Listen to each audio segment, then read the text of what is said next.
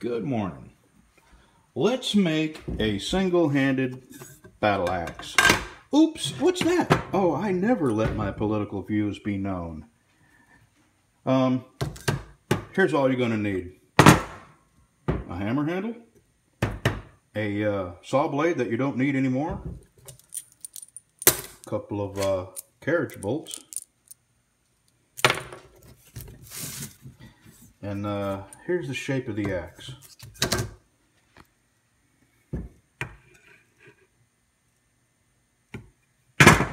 And the only tool you're going to need, I have a plasma cutter that I'm going to cut these up with.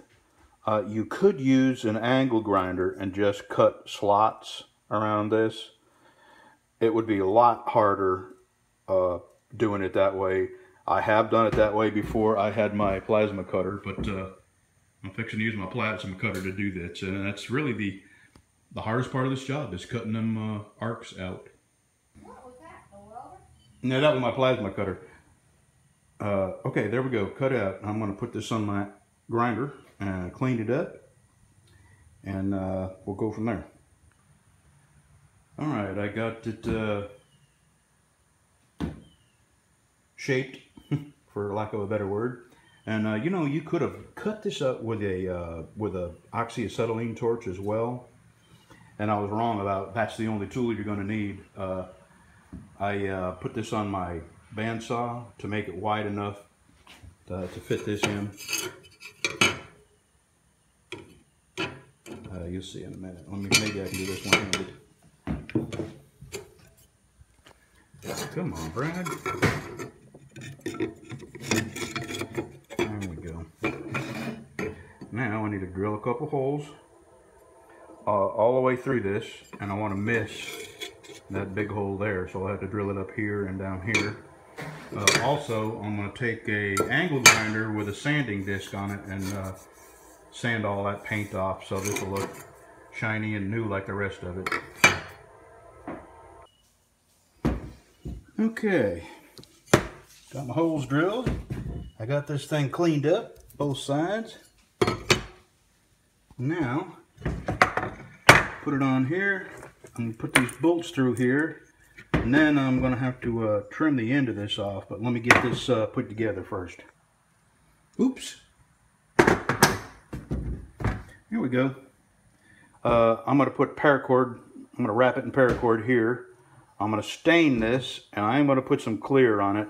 Uh, I'm gonna stain it probably dark oak, and uh, I'm going to uh, cut them off round them off on the grinder, make them look old, or at least not stand out so much.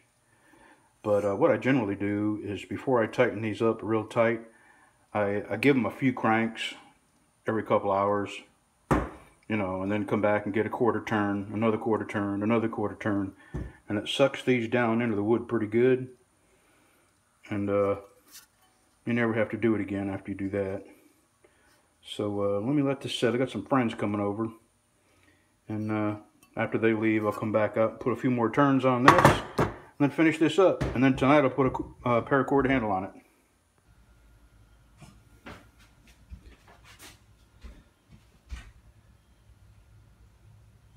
All right, two more coats of clear. And uh, tonight I will paracord wrap that handle. You know what? I think I'm to give this away for my 30,000 subscriber giveaway. Just a little novelty.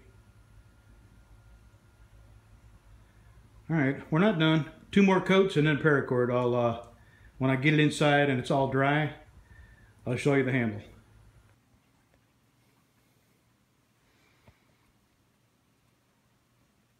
All right, what I'm to do now is put a paracord handle on it.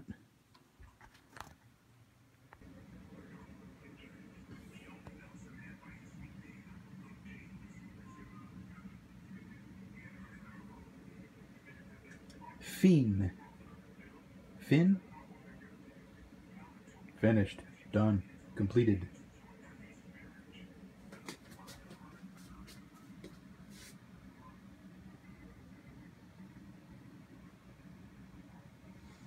Okay. Little project done.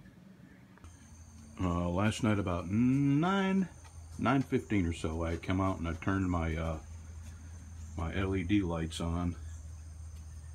And uh, they operate off that battery there.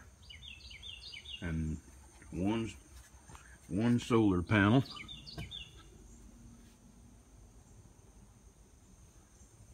So they've been on about 10 hours now. Just like that, all night long. About 10 hours. And uh, that's good to know.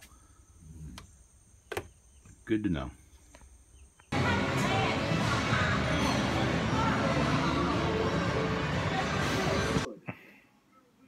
You know, that's a good question. Um, I have, uh, I, you know, I don't remember exactly what clip I thought When she wants uh, attention, she gets up here and she puts her face on mine, and she. And actually, after that show that night, she wants me to o'clock in the kiss her and make over her. page page by Mm, you good girl, I love you so much. Yes, I do.